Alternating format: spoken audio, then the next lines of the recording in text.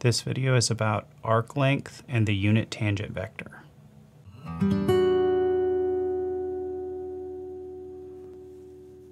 This content here is really just a fancy way of saying that distance is equal to rate times time.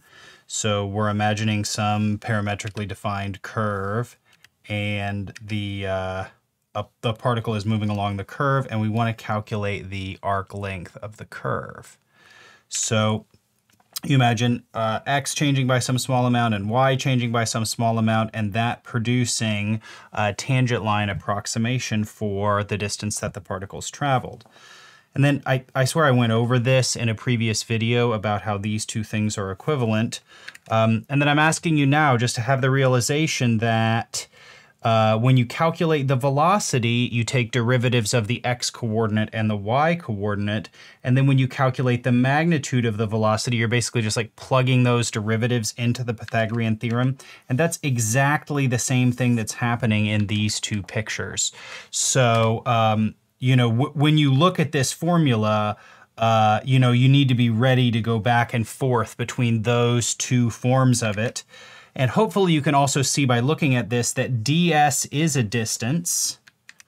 The magnitude of the velocity, we've been calling that the speed, that is a rate, and dt is some change in time. So this is really just another way of saying that distance is equal to rate times time. We know already that the velocity is a vector that points in the direction of motion but sometimes we want to strip away the speed aspect of it and only focus on the direction that the particle is moving in. So what we do is we take the velocity and we scale it down by the magnitude. This produces a unit vector that's pointing in the same direction as the particle is moving, and we call it t hat, the unit tangent vector. Now imagine that the particle was moving along a path and I chopped the path up into a bunch of pieces.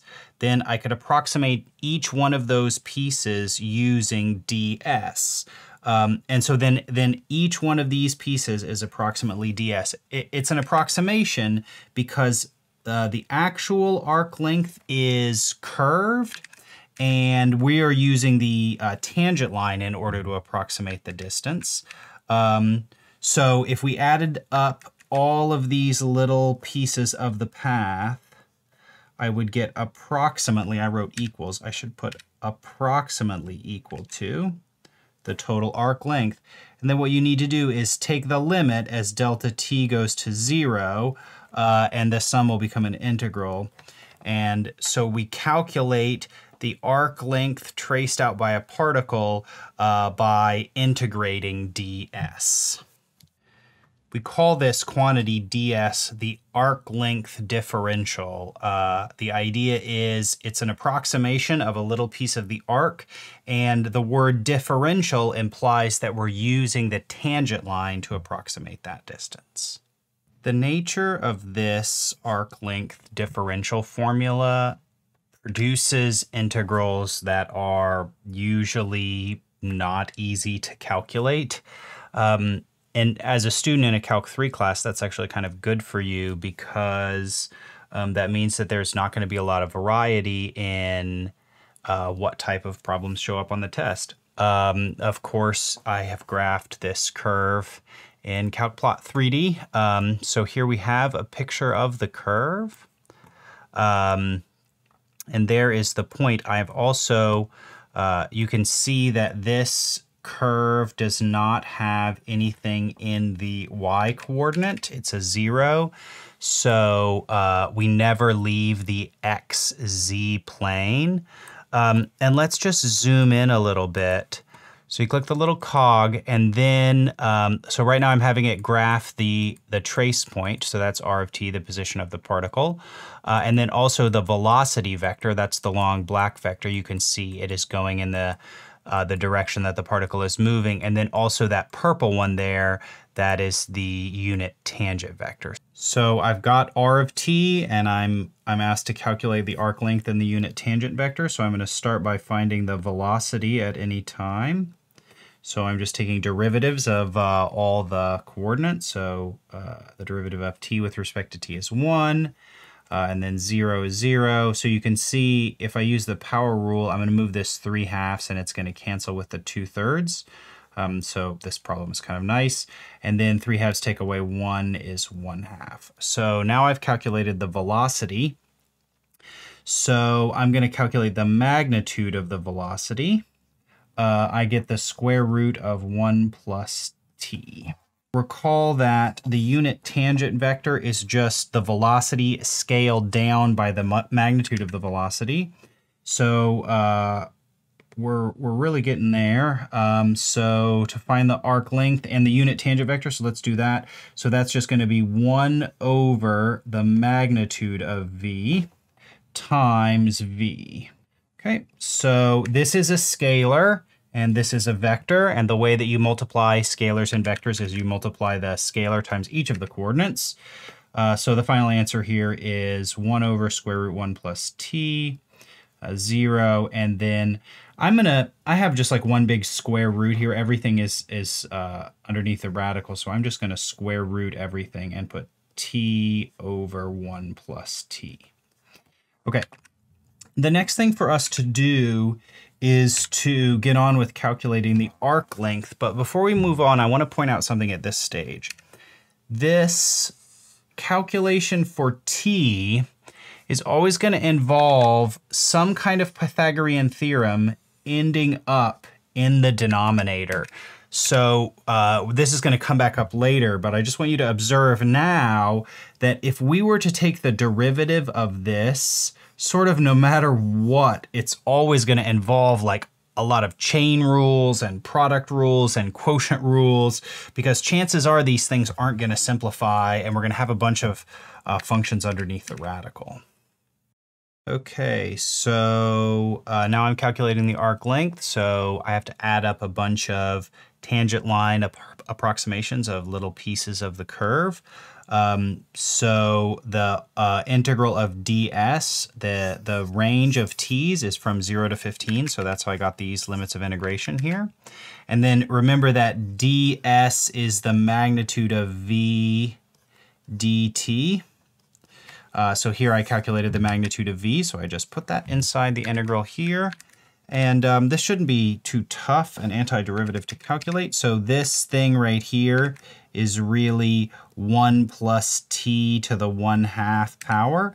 So um, I'm using the power rule, add 1, I get uh, 3 halves, divide by the result, you're going to get 2 thirds times 1 plus t to the 3 halves power evaluated from 0 to 15.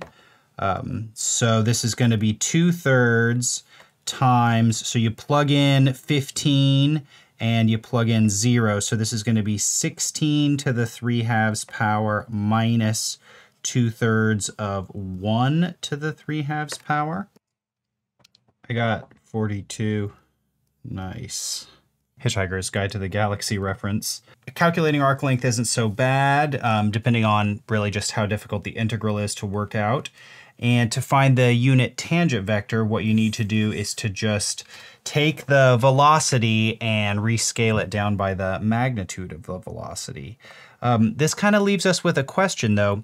If I have a path that I would like to take, and I choose a parameterization for that path, is the arc length going to be different depending on which parameterization I chose? Come up with two parameterizations for the same curve. Parameterization number one has the particle move around the curve in 2 pi seconds, and parameterization two has the particle move around the curve in pi seconds.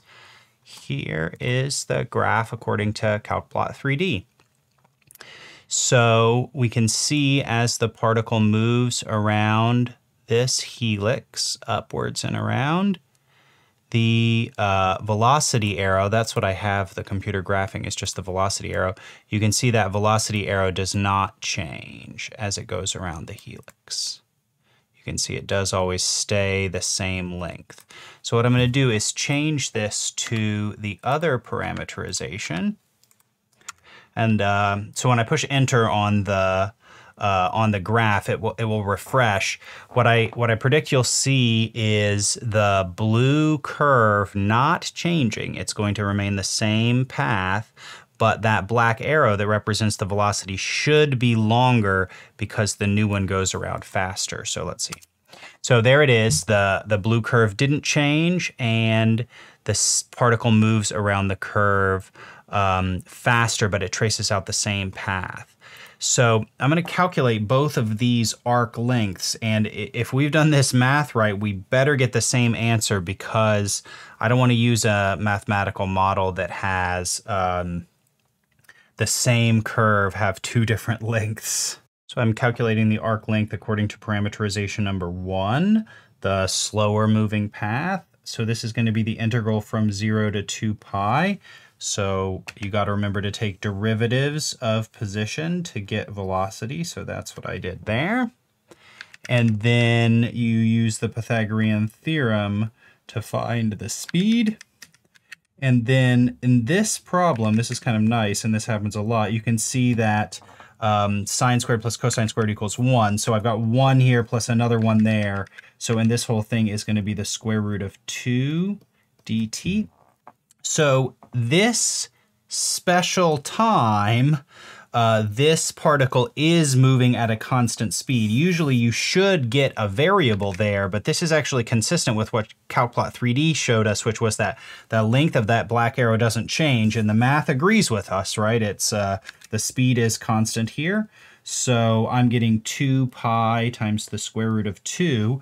Uh, I really hope that parameterization number 2 gives us the same answer. All right, so this is the same as before. I calculate some derivatives find the velocity. So don't forget the chain rule. Um, that's where this 2 comes from right there.